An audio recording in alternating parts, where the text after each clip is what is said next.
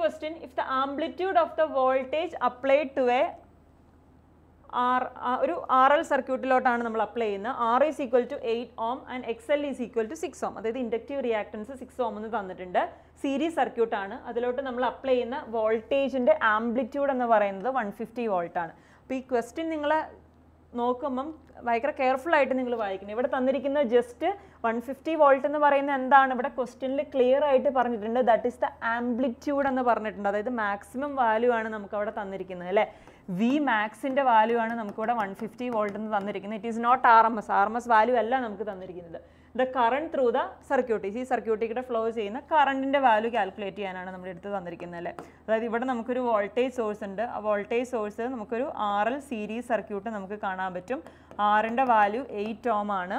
അതുപോലെ തന്നെ എക്സ് എല്ലിന്റെ വാല്യൂ എത്രയാണ്? എക്സ് എല്ലിന്റെ വാല്യൂ സിക്സ് ഓം എന്ന് തന്നിട്ടുണ്ട്. അപ്ലൈഡ് വോൾട്ടേജ് എന്ന് പറയുന്നത് വൺ ഫിഫ്റ്റി ആണല്ലേ അപ്പം അപ്പോൾ നമ്മുടെ ആർ എം എസ് വാല്യൂ എന്ന് പറയുന്നത് എത്രയായിരിക്കും? One fifty by root two ആയിരിക്കും അല്ലേ?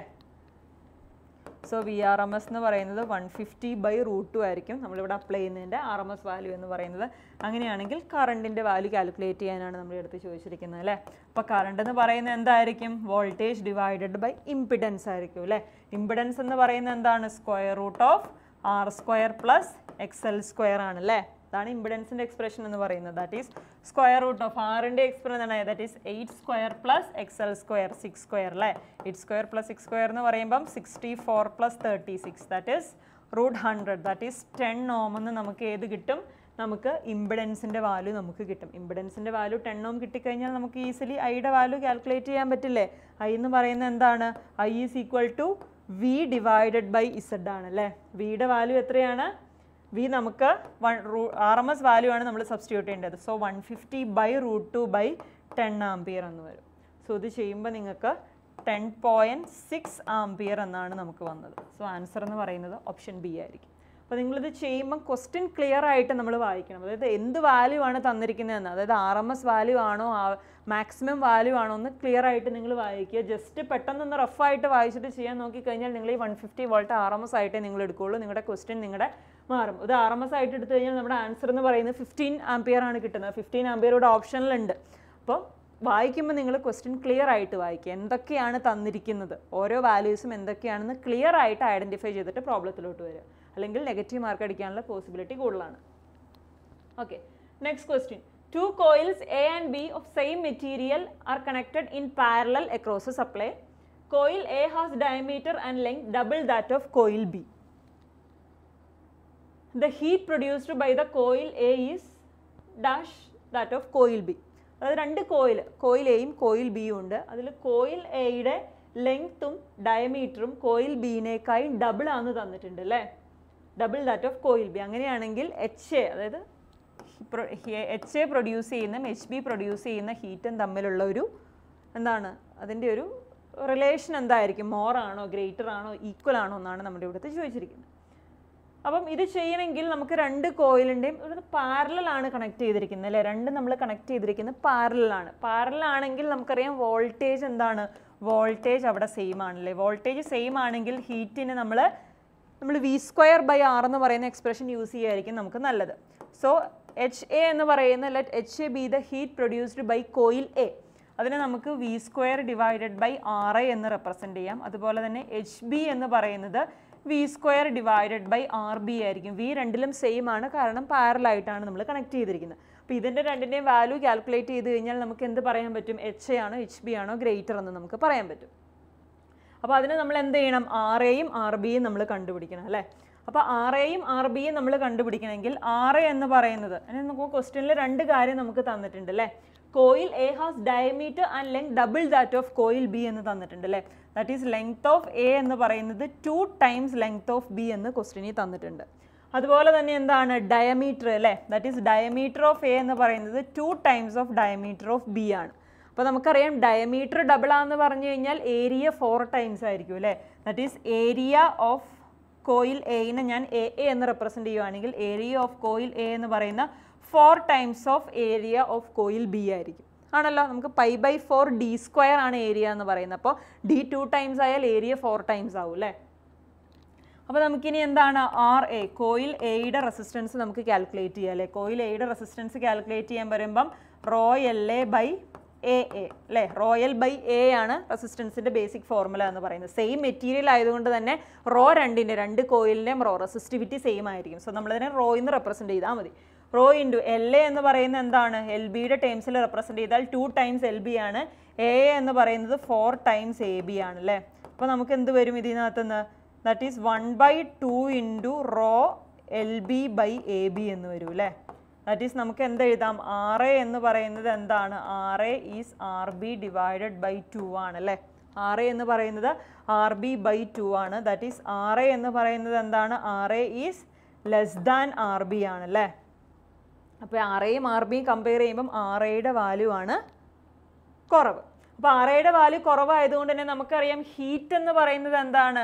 പാരലൽ ആണെങ്കിൽ heat is inversely proportional to resistance ആണല്ലേ ഈ ഫോർമുലയിൽ നിന്ന് നമുക്ക് മനസ്സിലാവൂ അല്ലേ? അപ്പോൾ റെസിസ്റ്റൻസിന്റെ വാല്യൂ കൂടുന്നിടത്ത് ഹീറ്റ് ലോസ് കുറവായിരിക്കും അല്ലേ? സോ ഇവിടെ R A less than R B ആണ്. ആർ ബിയുടെ റെസിസ്റ്റൻസ് ആണ് കൂടുതൽ. ആർ ബിയുടെ റെസിസ്റ്റൻസ് കൂടുതലാണെങ്കിൽ അതിന്റെ ഹീറ്റ് എന്തായിരിക്കും? കുറവായിരിക്കും. So H A will be greater than H B ആയിരിക്കും. ശരിയല്ലേ? കാരണം ഇവിടെ റെസിസ്റ്റൻസ് എയുടെ റെസിസ്റ്റൻസ് കുറവാണല്ലേ?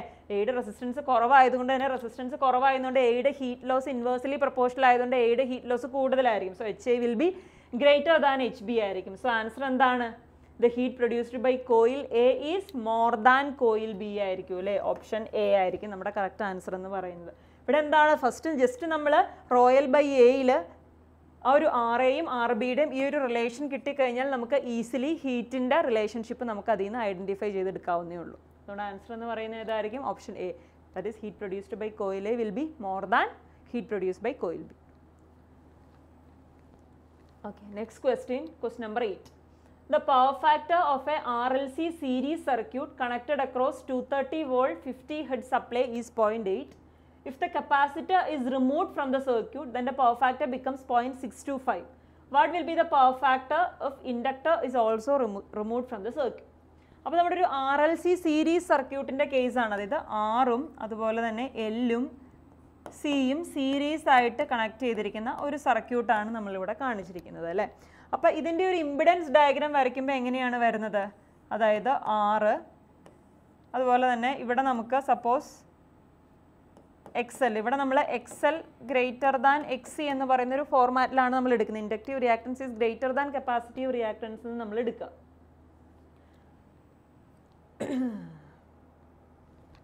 അപ്പോൾ എന്താണ്? നമുക്ക് എക്സി താഴ്ത്തോട്ടാണ് വരുന്നത് അല്ലേ? അപ്പോൾ നെറ്റ് റിയാക്ടൻസ് എക്സലും എക്സിയും ഓപ്പോസിറ്റ് ഡയറക്ഷനിലായതുകൊണ്ട് നമ്മൾ എക്സി സബ്സ്ട്രാക്ട് ചെയ്ത് കഴിഞ്ഞ് കഴിഞ്ഞാൽ ഇതായിരിക്കും നമ്മുടെ എക്സെൽ മൈനസ് എക്സി എന്ന് പറയുന്നത്. അപ്പോൾ ഇതായിരിക്കും നമ്മുടെ എന്തെന്ന് പറയുന്നത്? നമ്മുടെ ഒരു ഇമ്പിഡൻസ് ഡയഗ്രാം എന്ന് പറയുന്നത്. അപ്പോൾ ഈ ലെങ്ത് ആണ് നമ്മുടെ എക്സ് എന്ന് പറയുന്നത്. ആ ലെങ്ത്ത് നമ്മൾ സബ്സ്ട്രാക്ട് ചെയ്ത് കഴിയുമ്പോൾ നമുക്ക് X L minus X C വരും അല്ലേ അപ്പോൾ ഇതാണ് നമ്മുടെ എന്തെന്ന് പറയുന്നത്? ഒരു ഇമ്പിഡൻസ് ഡയഗ്രാം എന്ന് പറയുന്നത്. ഇതാണ് നമ്മുടെ ഇസഡ് എന്ന് പറയുന്നത്. അപ്പോൾ ഇനീഷ്യലി ആറും എല്ലും സിയും സർക്യൂട്ടിൽ പ്രസന്റ് ആയിരുന്നു. അപ്പോൾ അന്നേരം അതിന്റെ പവർ ഫാക്ടർ എന്ന് പറയുന്നത് എത്രയാണ്? ഈ ഫൈയുടെ വാല്യൂ എന്ന് പറയുന്നത് കോസ് ഇൻവേഴ്സ് പോയിന്റ് എയ്റ്റ് ആയിരുന്നു എന്ന് ക്വസ്റ്റിനി തന്നിട്ടുണ്ട്. ഓക്കെ ഇനി എന്താണ് പറഞ്ഞിരിക്കുന്നത്? ഇഫ് ദ കപ്പാസിറ്റർ നമ്മൾ റിമൂവ് ചെയ്തു. കപ്പാസിറ്റർ റിമൂവ് ചെയ്ത് കഴിഞ്ഞപ്പോൾ എന്താണ്? കപ്പാസിറ്റർ റിമൂവ് ചെയ്ത് കഴിഞ്ഞു എന്ന് വെച്ചാൽ എന്താണ്? പിന്നെ നമ്മുടെ സർക്യൂട്ടിലെ എക്സ് എല്ല് മാത്രമേ ഉള്ളൂ അല്ലേ? എക്സ് എല്ല് മാത്രമേ ഉള്ളൂ. ലെറ്റ് ഇതാണ് നമ്മുടെ എക്സ് എല്ലിന്റെ വാല്യൂ ഈ ടോട്ടലാണ് നമ്മുടെ എക്സ് എല്ലിന്റെ വാല്യൂ എങ്കിൽ എന്ത് പറ്റും? പുതിയ power factor diagram capacitor remove ആകുമ്പോൾ എന്ത് സംഭവിക്കും? നമുക്കറിയാം ഫൈയുടെ വാല്യൂ ഇൻക്രീസ് ആവും. ഫൈയുടെ വാല്യൂ ഇൻക്രീസ് ആകുമ്പോൾ എന്ത് സംഭവിക്കും? പവർ ഫാക്ടർ കുറയും. പവർ ഫാക്ടർ കുറഞ്ഞ് എത്രയായി എന്ന് പറഞ്ഞിട്ടുണ്ട്? പോയിന്റ് സിക്സ് ടു ഫൈവ് ആയെന്ന് പറഞ്ഞിട്ട് ഇപ്പം നമ്മുടെ സർക്യൂട്ടിൽ എന്ത് മാത്രമേ ഉള്ളൂ? എക്സ് എൽ എന്ന് പറയുന്ന ഒരു ടേം മാത്രമേ ഉള്ളൂ. അന്നേരം പവർ ഫാക്ടർ റെഡ്യൂസ് ആയി. ഈ പവർ ഫാക്ടർ എന്ന് പറയുന്നത് cos inverse point six two five ആണല്ലേ അപ്പോൾ പവർ ഫാക്ടർ റെഡ്യൂസ് ആയി. ഇനി what will be the power factor of inductor is also remove ഇപ്പം ഇപ്പം എന്താണ്? ഇപ്പം നമ്മുടെ സർക്യൂട്ടിലെ കപ്പാസിറ്റർ റിമൂവ് ചെയ്ത് കഴിഞ്ഞിട്ട് ആറും എക്സലും മാത്രമേ ഉണ്ടായിരുന്നുള്ളൂ. ഇനി ഇൻഡക്ടർ ഞാൻ ഫുള്ളി റിമൂവ് ചെയ്തു. ഇൻഡക്ടർ റിമൂവ് ആയി എന്ന് പറഞ്ഞാൽ പിന്നെ സർക്യൂട്ടിൽ എന്ത് മാത്രമേ ഉള്ളൂ? റെസിസ്റ്റൻസ് മാത്രമേ നമുക്ക് ആ സർക്യൂട്ടിൽ കാണാൻ പറ്റുള്ളൂ അല്ലേ? പ്യുവർ റെസിസ്റ്റൻസ് സർക്യൂട്ട് റെസിസ്റ്റൻസ് മാത്രമാണ് പ്രസന്റ് ചെയ്തിട്ടുണ്ടെങ്കിൽ അവിടെ പവർ ഫാക്ടർ എന്ന് പറയുന്നത് എന്തായിരിക്കും? പവർ ഫാക്ടർ എന്ന് പറയുന്നത് യൂണിറ്റി ആയിരിക്കും അല്ലേ? അപ്പോൾ നമ്മുടെ ആൻസറിൽ നോക്കിക്കഴിഞ്ഞാൽ നമ്മുടെ options point eight point six two five point four five എന്നൊക്കെയാണ്. യൂണിറ്റി എന്ന് പറഞ്ഞ ഓപ്ഷൻ ഇല്ല. അപ്പോൾ നമ്മുടെ ആൻസർ ഏതായിരിക്കും വരുന്നത് option D none of these ആയിരിക്കും അല്ലേ? ഇവിടെ ഒന്നുമില്ല. ജസ്റ്റ് ഒന്ന് നമ്മുടെ ക്വസ്റ്റൻ ഒന്ന് വായിച്ചു കഴിഞ്ഞാൽ തന്നെ നമുക്ക് കിട്ടാവുന്നേ ഉള്ളൂ അല്ലേ? ഫസ്റ്റ് കപ്പാസിറ്റർ റിമൂവ് ചെയ്തു. അന്നേരം ഒരു ആർ എൽ സർക്യൂട്ടായിട്ട് കൺവേർട്ടായി ആർ എൽ സർക്യൂട്ടായിട്ട് കൺവേർട്ടായി എല്ലും റിമൂവ് ആയി. എന്ന് പറഞ്ഞു കഴിഞ്ഞാൽ പിന്നെ നമുക്കിത് വരച്ച് നോക്കേണ്ട ആവശ്യം പോലും ഇല്ല. പിന്നെ ആറ് മാത്രമേ ആ സർക്യൂട്ടിലുള്ളൂ അപ്പോൾ ഡയറക്റ്റ്ലി നിങ്ങൾക്ക് option D none of these നിങ്ങൾക്ക് കുത്താൻ പറ്റും. ഓക്കെ അതാണ് നമ്മുടെ എയ്ത്ത് ക്വസ്റ്റ്യൻ എന്ന് പറയുന്നത്. ഇനി next question ninth question a one microfarad capacitor is charge to four hundred volt find the value of voltage to which the capacitor is discharge if point zero six joule energy is remove from the capacitor അപ്പോൾ നമ്മുടെ ഒരു കപ്പാസിറ്ററിന്റെ discharge ആണ് ഇവിടെ പറയുന്നത്. Initially നമ്മുടെ capacitor V one എന്ന് പറയുന്ന ഒരു വോൾട്ടേജിലോട്ട് ചാർജ്ഡ് ആയിട്ടിരിക്കുകയാണ്. ദാറ്റ് ഈസ് ഫോർ ഹൺഡ്രഡ് വോൾട്ടിലോട്ട് ചാർജ് ആയിട്ടിരിക്കുന്ന ഒരു കണ്ടീഷനാണ് അതിനുശേഷം ഈ കപ്പാസിറ്റർ ഡിസ്ചാർജ് ചെയ്യാണ്. കപ്പാസിറ്റർ ഡിസ്ചാർജ് ചെയ്ത് point zero six joule energy release ചെയ്തു എന്ന് നമ്മുടെ അടുത്ത് ക്വസ്റ്റിനിൽ പറഞ്ഞിട്ടുണ്ട്. ആ കപ്പാസിറ്റി എനർജി എനർജി അത്രം എനർജി റിമൂവ് ചെയ്തിട്ടുണ്ട്. അതിനുശേഷം ഡിസ്ചാർജ് ചെയ്യുന്ന വെച്ചാൽ എന്താണ്? വോൾട്ടേജ് കുറയും. ലെറ്റ് വി ടു എന്ന് പറയുന്നൊരു വോൾട്ടേജിലോട്ട് വോൾട്ടേജ് കുറഞ്ഞ് വി ടു എന്ന് പറയുന്നൊരു വോൾട്ടേജിലെത്തി ആ വി ടു വോൾട്ടേജിലെത്തിയപ്പം എത്ര എനർജിയാണ് റിമൂവ് ആയത്? Point zero six joule energy remove ആയി എന്ന് പറഞ്ഞിട്ടുണ്ട്. അങ്ങനെയാണെങ്കിൽ find the value of voltage to which capacity discharged ഈ വി ടുവിന്റെ വാല്യൂ ആണ് നമ്മുടെ അടുത്ത് ചോദിച്ചിരിക്കുന്നത്. നമുക്കറിയാം എനർജി സ്റ്റോർഡിന്റെ കപ്പാസിറ്റർ എന്ന് പറയുന്നതിന്റെ എക്സ്പ്രഷൻ എന്താണ്? That is equal to half C V square ആണല്ലേ സോ ഇനീഷ്യൽ വോൾട്ടേജ് എന്ന് പറയുന്നത് വി വൺ ആണെങ്കിൽ half C V one square ആയിരുന്നു ഇനീഷ്യൽ അതിലുണ്ടായിരുന്ന എനർജി അപ്പോൾ എനർജി ഡിസ്ചാർജ് ചെയ്ത് എന്താണ്? ഇപ്പോൾ ലാസ്റ്റ് എനർജി എന്ന് പറയുന്നത് half C V two square V two എന്ന വോൾട്ടേജിലോട്ട് ഡിസ്ചാർജ് ചെയ്ത് വോൾട്ടേജ് റെഡ്യൂസ് ആയി. അപ്പോൾ half C V two square ആയിരിക്കും ഇപ്പോഴുള്ള എനർജി എന്ന് പറയുന്നത്. അപ്പോൾ ഇതിന്റെ ഡിഫറൻസ് ആയിരിക്കും അതിൽ നിന്ന് റിമൂവ് ചെയ്ത എനർജി എന്ന് പറയുന്നത് അല്ലേ? അതാണ് നമ്മുടെ ക്വസ്റ്റ്യനിൽ പോയിന്റ് സീറോ സിക്സ് ജൂൾ എന്ന് നമുക്ക് തന്നിരിക്കുന്നത്. ഇപ്പോൾ ഇവിടെ വി വണ്ണിന്റെ വാല്യൂ നമുക്കറിയാം അല്ലേ? That is half C into V one square എന്ന് പറയുന്നത് ഫോർ ഹൺഡ്രഡ് ആണ്. Four hundred square minus half C into V two നമുക്ക് കാൽക്കുലേറ്റ് ചെയ്യണം. V two square is equal to zero point zero six ആണ്. അപ്പോൾ ഇതിനകത്തുനിന്ന് നമ്മൾ ഈ ടൂവിനെ നമ്മൾ മൾട്ടിപ്ലൈ ചെയ്ത് കഴിയുമ്പോൾ എങ്ങനെ വരും? C into four hundred square minus V two square is equal to point zero six into two ചെയ്യുമ്പോൾ നിങ്ങൾക്ക് പോയിന്റ് വൺ ടു എന്ന് വരും.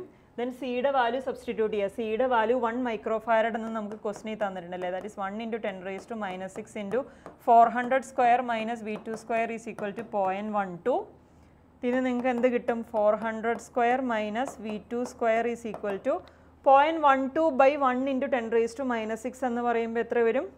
Point one two into ten raise to six എന്ന് വരും അല്ലേ? That is twelve into four zeros വരും അല്ലേ?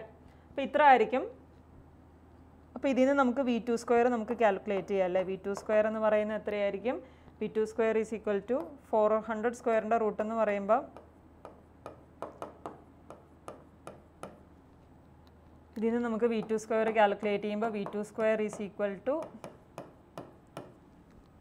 forty thousand എന്ന് വരും അല്ലേ? ഫോർട്ടി തൗസൻഡ് എന്ന് പറയുമ്പോൾ അതിന്റെ സ്ക്വയർ റൂട്ട് എടുത്തു കഴിഞ്ഞാൽ നമുക്ക് വി ടുവിന്റെ വാല്യൂ നമുക്ക് കാൽക്കുലേറ്റ് ചെയ്യാം അല്ലേ? സ്ക്വയർ റൂട്ട് എടുത്തു കഴിഞ്ഞാൽ വി ടുവിന്റെ വാല്യൂ എത്ര വരും? ടു ഹൺഡ്രഡ് വോൾട്ട് എന്ന് വരും. സോ എത്ര വോൾട്ടേജ് ആയിട്ടായിരിക്കും അതിന്റെ വോൾട്ടേജ് ഡിസ്ചാർജിന്റെ സമയത്ത് റെഡ്യൂസ് ആയത്? ടു ഹൺഡ്രഡ് വോൾട്ട് ആയിട്ടായിരിക്കും അതിന്റെ വോൾട്ടേജ് റെഡ്യൂസ് ആയത്. സോ വി ടുവിന്റെ വാല്യൂ എന്താണ്? ടു ഹൺഡ്രഡ് വോൾട്ട് എന്ന് വരും. ഇവിടെ നമ്മൾ എന്താണ് ചെയ്തത്? ജസ്റ്റ് കപ്പാസിറ്റർ സ്റ്റോർ ചെയ്ത എനർജിയുടെ ഒരു എക്സ്പ്രഷൻ അറിഞ്ഞാൽ മാത്രം മതി നമ്മൾ ഹാഫ് സി വി സ്ക്വയർ ആണ് എനർജി സ്റ്റോർഡിനെ കപ്പാസിറ്റർ എന്ന് പറയുന്നത്. അപ്പോൾ റിലീസായ എനർജി എന്ന് പറയുന്നത് ഇനീഷ്യലുള്ള എനർജിയിൽ നിന്ന് നമ്മുടെ ഫൈനലുള്ള എനർജി സബ്സ്ട്രാക്ട് ചെയ്താൽ കിട്ടുന്നതായിരിക്കും. അതിൽ നിന്ന് റിമൂവ് ചെയ്ത എനർജി എന്ന് പറയുന്നത് അല്ലേ? So half C V one square minus half C V two square ആയിരിക്കും. പോയിന്റ് സീറോ സിക്സ് എന്ന് പറയും ഓക്കെ അപ്പോൾ ആൻസർ എന്ന് പറയുന്നത് ഓപ്ഷൻ ബി ആയിരിക്കും. Next question the quality factor of a R C series circuit is related to power factor എങ്ങനെയാണ് power ഫാക്ടറിനോട് relate ചെയ്തിരുന്നതാണ് നമ്മൾ ചോദിച്ചിരിക്കുന്നത്. അപ്പോൾ ക്വാളിറ്റി ഫാക്ടർ എന്ന് പറയുമ്പോൾ എക്സൽ അല്ലെങ്കിൽ എക്സി ഡിവൈഡഡ് ബൈ ആർ എന്നാണ് നമ്മൾ പറയുന്നത് അല്ലേ? അപ്പോൾ നമുക്കറിയാം ഇവിടെ ക്യൂ ഫാക്ടർ അല്ലെങ്കിൽ quality factor is inversely proportional to resistance ആണ് അല്ലേ? ഇൻവേഴ്സ്ലി പ്രപ്പോർഷണൽ ടു റെസിസ്റ്റൻസ് ആണ്. നമുക്കറിയാം ഒരു ഇമ്പിഡൻസ് ഡയഗ്രാം വരച്ച് കഴിഞ്ഞ് കഴിഞ്ഞാൽ ആറ് എക്സ് ഇസഡ് ഇതാണ് നമ്മുടെ ഫൈ എന്ന് പറയുന്നത് അല്ലേ? അപ്പോൾ ഇതിൽ നിന്ന് നമുക്ക് കോസ് ഫൈയുടെ വൈ കാൽ നമുക്ക് കാൽക്കുലേറ്റ് ചെയ്യാം അല്ലേ? കോസ് ഫൈ എന്ന് പറയുന്നത് എന്താണ്? ആർ ഡിവൈഡഡ് ബൈ ഇസഡ് ആണ്. അല്ലെങ്കിൽ നമുക്ക് ആറിനെ ഇൻ ടേംസ് ഓഫ് നമ്മൾ ഇസഡ് റെപ്രസെന്റ് ചെയ്യുമ്പോൾ R is equal to Z cos phi എന്ന് നമുക്ക് എഴുതാൻ പറ്റൂ അല്ലേ?